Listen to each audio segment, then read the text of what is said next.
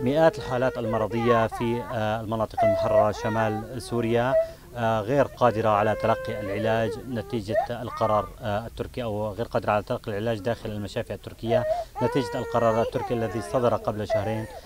بعدم استقبال السوريين داخل المشافي التركية وعلاجهم مجانا وعدم منحهم بطاقة الكملك أو بطاقة الحماية المؤقتة. كملك وتم الاستعاضة عنها بالوثيقة وثيقة السياحة العلاجية والتي لا تخول هؤلاء المرضى الدخول إلى داخل المشافي التركية.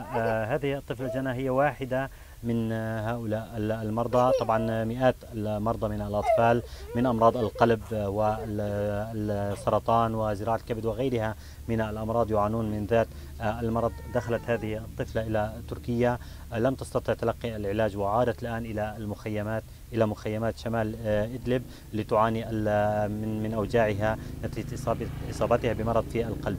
سنلتقي الآن مع والدتها للحديث عن وضع هذه الطفلة.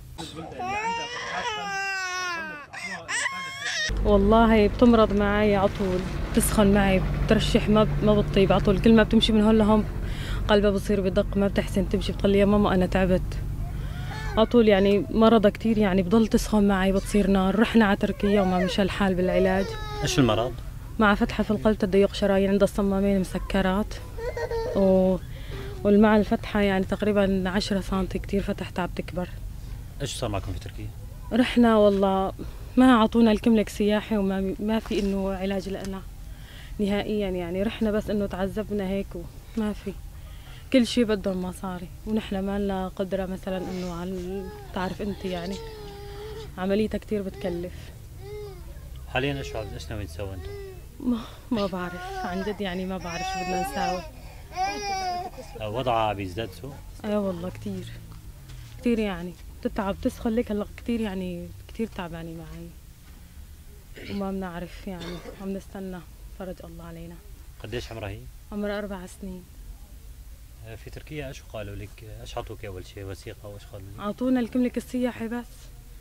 وقالوا لنا إنه ما في علاج لكم كله بمصاري، نحن ما لنا قدرة مثلا ندفع يعني. هونيك ال... تعرف أنت العلاج والدواء كله على حسابنا. نحن ما لنا قدرة إنه ندفع الشيء هذا. Thank you.